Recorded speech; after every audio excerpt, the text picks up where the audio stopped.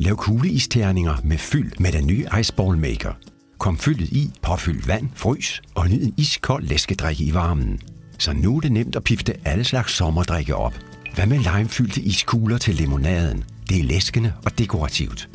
Til iskugler uden fyld, skil blot top og bund, påfyld vand, sæt toppen på og klem om de fire kugler for at sikre, at den sidder tæt. Placer Iceball Maker på en plan flade i fryseren, og når kuglerne er frosset til is, er de klar til brug. Men du kan også lave fyldte iskugler. Kom for eksempel appelsinskal i Iceball Maker og sæt toppen på. Nu påfyldes væsken gennem hullerne, og Iceball Maker stilles på frys. Når de er frosset til is, vrides formen over vasken for at fjerne overskydende is.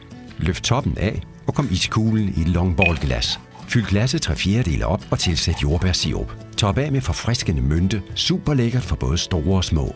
Ingen sommer uden festbowlen. Med Iceball Maker kan du nemt fremtrylle en farverig festbowle med masser af frugter og bær. Også inde i iskuglerne. Det må da være en skål værdig. Og til de fine fester og gæster kan du byde på en variation over den klassiske gin og tonic med aromatiske rosmarin-iskugler toppet af med agurkestrimler.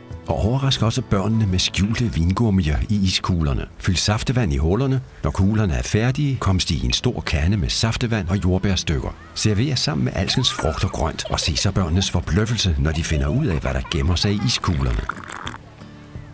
Så til familie og fester, Iceball Maker gør sommeren lidt sjovere. Den bliver du glad for.